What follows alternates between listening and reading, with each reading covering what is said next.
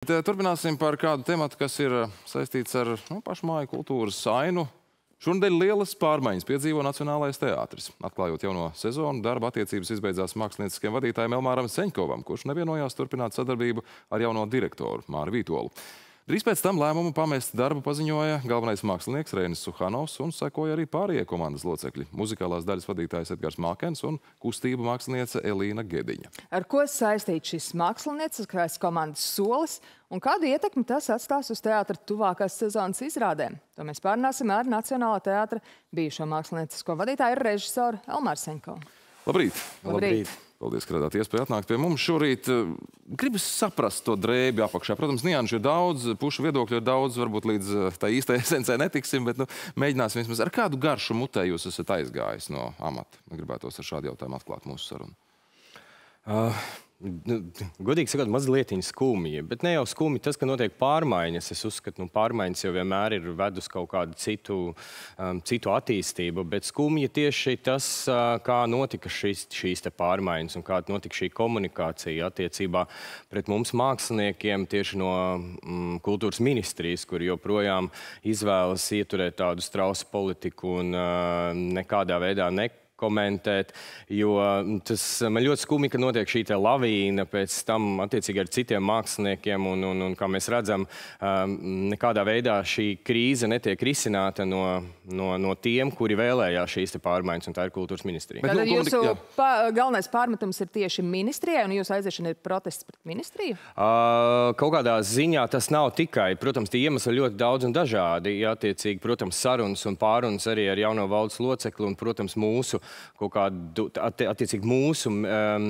uzdevumiem teātrī, uh, lai mēs sasniegtu kaut kādus mākslinieciskos mērķus, mums nesakrīt ar valsts locekli, protams, uh, uh, šis te vadības modelis, jo iepriekšējais vadības modelis, mēs, mēs, mēs bijām parakstījušies uz citu vadības modeli pie iepriekšējā valsts locekļa, uh, um, un man ļoti žāk, kultūras ministrija pirms tam vispār nepainteresējās, uh, kas notiek teātrī, kāds ir mūsu uzņemtais mākslinieckais kurs, ko jau mēs sākām gadu iepriekš, ļoti augstprātīgi rēķinoties, ka vienkārši mums, nezinot, piedāvājot jaunu valsts locekli, ka mums sanāks turpmāk sadarboties. Man liekas, tieši šī arogance pret tieši šiem māksliniekiem, kas darbojās teātrī, mm, augstprātība, nerēķināšanās bija ļoti liela. Un es domāju, tas arī veidoja šo, šo, šo problēmu. Varētu veicāt, ko tad jūs sagaidāt, pirms mēs ejam tālāk pie paša teātra attīstības tieši no ministrijas puses? Ja šī arogance bija, no cīm redzot, tā nav nekur pagaisusi, vai jūs gribētu kaut kādu nu, es nezinu, atvainošanos, kaut, kā, nu, kaut kā mainīšanu,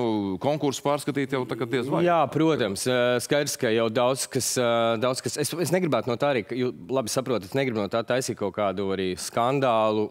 Man liekas, tas ir lieki, jo jāturpinās darbs, un es jau turpinu darbu pie jaunās izrādes. Bet es gribētu, lai nākotnē mēs vienkārši par to diskutētu, atvērtu diskusiju un saprastu, vai nākotnē ne, nebūtu līdzīgi šīs problēmas tieši no kultūras ministrijas. Un es gribētu, lai mēs tiešām satiekamies un veidojam veidojam šo dialogu un mēģinam saprast, kāpēc mēs šobrīd esam tur, kur mēs esam. Sekojot līdzi publiski pieejamai informācijai, nu, no sākuma jūs pats sociālajos tīklos nu, ļoti skarbi ierakstu arī publicējāt, paužot visu, ko par to domājat. Pēc tam bija tikšanās ar jauno direktoru Vītolu un bija arī frāze, ka lielie punkti sakrīt, kas tā kā likās, ka cerīgi, bet nu, pēc tam atkal ziņa par to, ka tomēr jūs nespējat vienoties par turpmākās sadarbības modeli. Vai varat pavērt mums priekšskaru? Kur tad bija tā lielā problēma? Ja lielie punkti sakrīt, kāda problēma izrādījās lielāka par šiem punktiem? Nu, laikam, tas lielākais punkts bija tieši kā mēs, kā mākslinieckā vadība, uzņemamies pilnu atbildību par tieši mākslinieciskiem lēmumiem. Attiecīgi, ka šie mākslinieckie lēmumi iepriekšējā vadības modelī bija, ka mēs pieņemam tikai mēs, un attiecīgi uh, iepriekšējais valsts loceklis atbild par administratīvām funkcijām. Tas nozīmē, ka direktoram nebūtu nevis mazākās teikšanas par satura teātrī? Tieši jā, jā.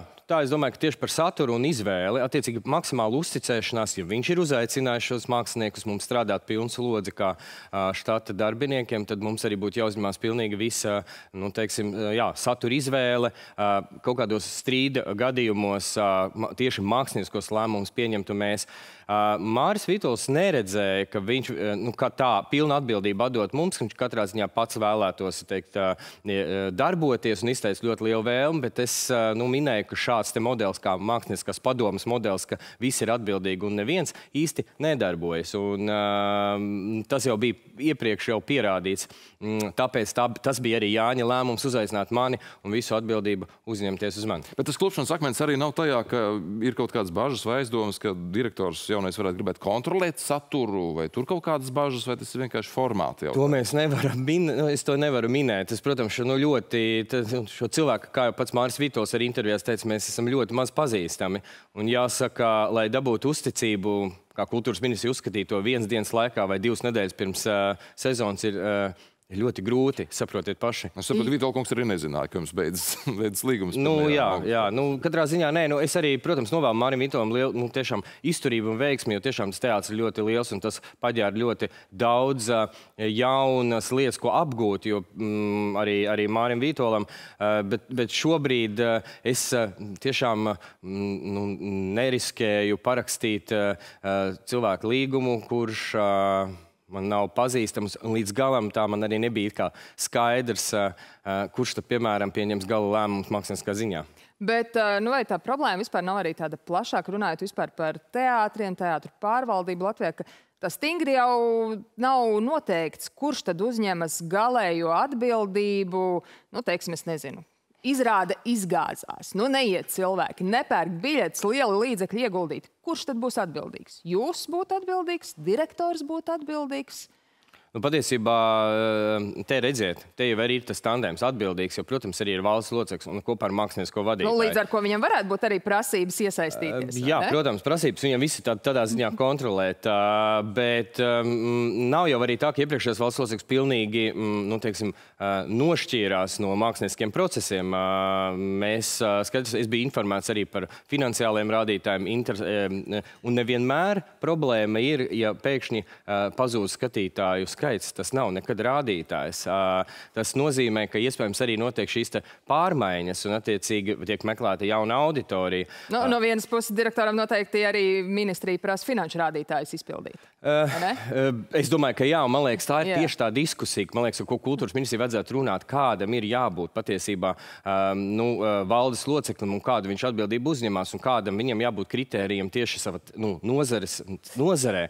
Jo nu, tad jau, nu, tad es atvainojos, tad jau es arī varētu valsts mākslas muzeju vadīt un, un, un tam līdzīgi. Nu, tiecīgi, tas ir nu, kaut kāds robežs. Ir, jā. jā, starp citu, arī aizkulisēs izskanēja ziņas, ka jūs esat tādu atbalstu vēstuli sarakstī, uzrakstījis uh -huh. uh, Vimbam iepriekšējiem direktoram, prasījis aktieriem parakstīt, vai tā ir taisnība? Jā, tā ir taisnība. Es izteicu atbalstu iepriekšējām valsts locekļiem. Iespējams, tas arī veidoja šo varbūt iekšējo arī konfliktu. Parakstījusi gan tikai apmēram nepilnīgi ceturtā daļa no aktieriem. Arī tā ir taisnība? Uh, man liekas, ka ceturtā daļa, jā. jā, jā. Un es attiecīgi arī gribēju informēt tiešām arī šo kultūras ministriju par to, kāda ir reālā šīs situācija. Uh, bet es katrā ziņā izteicu atbalstu un lojalitāti, kas, manuprāt, būtu pareizi, ja, uh, ja š, valsts loceklis uzticējās man uzņemties šo procesu. Es, protams, arī uh, parādīju nu, savu attieksmi un arī parādīja kaut kādā ziņā savus procesus, kā mēs tālāk veidosim. Man, tas bija mans pirmais gads, lai es varētu nu, uzsākt uh, savus, realizēt mākslinieskos mērķus. Par teātri turpmāk, cik ilgi tas varēs dzīvot bez tāda konkrēta amata, bez mākslinieckā vadītāja? Varbūt jūs redzat kādu, kas varētu ieņemt šo vietu? Šobrīd es, protams, neredzu, un es saprotu arī sarunā ar Māru Vito, saprotu, ka arī šobrīd arī nav nekas paredzēts. Bet redziet, teātrī ir dažādi modeļi, bet tas, ka mākslinieckie vadītāji vēsturiski Nacionālajā teātrī ir bijuši. Un, un, un, un, un, un tas nav nekas traks, mēs gribējām atjaunot šo posteni, bet, nu, acīm redzam, atkal apstākļu sakritības dēļ, iespējams, tas nav nepieciešams. Jā, vēl runājot arī par teātri, teātrā saturu. Tas, ko Mārcis Vītols ir paudzis, ka viņa mērķis ir izcilība un viņa mērķis ir, lai Nacionālā teātrā vārds izskan skaļi un plaši. Paskatījāmies par pēdējām, pēdējiem diviem, divām sezonām Spēlmaņu nakts sarakstu. Nu, tur ieskatās, tad 21. un 22. gada sezona ir diezgan daudz nominācijas Nacionālajiem teātrim balva viena. Gada labākais aktieris Kaspars Zvīguls. 22. un 23. gada sezona Nacionālajiem teātrim septiņas nominācijas. Dēls teātrim 14, Valmieras 21, Liepājas 9, Rīgas Krievu teātrim 9. Nu, Nacionālais teātris šajos skaitļos atpaliek. Vai tas neiezīmē, nu, ka kaut kas tomēr tur tiecoties pēc izcilības būtu jāmaina? Uh, nu, tāpēc tas bija arī Jāņa lēmums uzaicināt mani un manu māksliniecisko komandu. Manuprāt, tas bija ļoti pareizs lēmums. Uh, un, uh, kā pierādījās, šī mākslinieckā padome vienkārši kā nedarbojas. Un iespējams, varbūt tāpēc, iespējams, man, ir, man, man nav kauns atzīt, jā, protams, ka mākslinieckā varbūt kvalitāte kritās, bet mēs jau nevaram vērtēt tikai pēc spēļu naktīm. Direktora pienākumu izpildīšanu. Viens jau varbūt ikdienas darbu tādā gadījumā. Kā ir ar režis, režisoriem un režisoru cunfti, teiksim tā, paņemsim šo aspektu, vai nu, tā ir pietiekami augsta latiņa arī teātrī, vai reizēm, nu, varbūt reizēm aktieriem nākas pašiem. Ja ir redzējums, tad viņiem arī pašiem ļauj iestudēt izrādes kā ar to. Tad, tad jautājums ir. Jautājums ir par režisora, mm, režisora kā amata vienības režisors, teiksim, ticumu. Jā. Nu, tas arī ir, tāpēc es uzskatu, ir vajadzīgs mākslinieckais vadītājs, lai izvērtētu viņu profesionāli un dotu viņam iespēju. Es nedomāju, ka katrs var būt režisors. Es domāju, ka tas, tas ka jādod iespēju un jāredz kaut kāda, tas, tas, tas gan, un jādod arī jauniem uh, māksliniekiem uh, uh, iespēju, bet vai katrs var būt režisors? Nu, es nedomāju. Tā ir profesija. Vai pats turpināsiet iestudēt uh, Nacionālā teātra izrādes vai arī spēlēt dancoju? Tiek nospēlēta, un jūs uh, aizverat mm, durvis un pasakāt. Šobrīd, šobrīd ir ļoti grūti pateikt. Es būšu atvērts piedāvājumiem. Protams, mēs ar Māru Vītolu mums ir ļoti labs kontakts un skats, ka mēs turpmāk iespējams veidosim sadarbību, bet jau, protams, nu, citos statusos. Bet jāsaprot, ka ir brīvā tirgus ekonomika, ne, bet tirgus, brīvais tirgus, un protams, es arī izskatīšu ar cits piedāvājums, un es būšu brīvs mākslinieks.